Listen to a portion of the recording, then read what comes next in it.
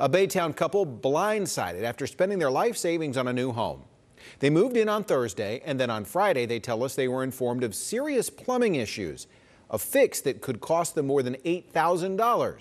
ABC 13's Alex Bozarjian is now joining us live from Baytown City Hall with their story. Alex?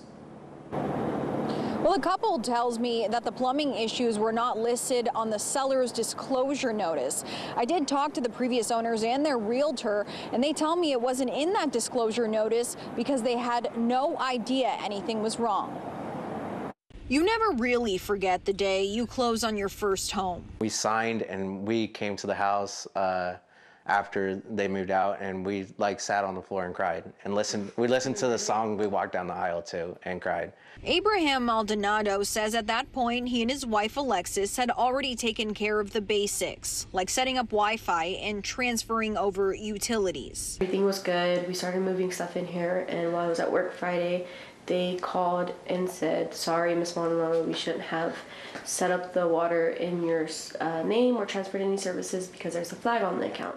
The Maldonado's home is allegedly sitting on top of a faulty plumbing system. Abraham was told there are tree roots growing into a concrete private sewer line that runs from his house to the city line. All has to be broken up and pulled out. According to the city of Baytown, it's been like this for seven years. They sent me an email with the letter that was sent to the owners. The owners tell ABC 13 they don't recall getting this letter informing them of the needed repair.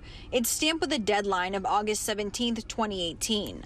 The document states the consequences of noncompliance are one, they'll have to pay a $25 surcharge every month going forward, and two, utility services are not transferable until the fixes are made. They've been paying that for seven years at seven years, that's a little over $2,000. That could have gone a long way to make these repairs. According to Abraham, the job is going to cost he and his wife about $8,000. He says on Thursday, the city told him if it wasn't done by Friday, their services would be cut off.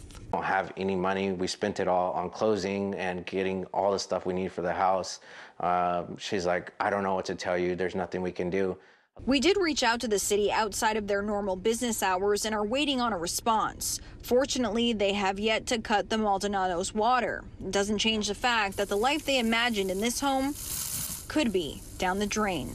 In Baytown, I'm Alex Bozarjian, ABC 13 Eyewitness News.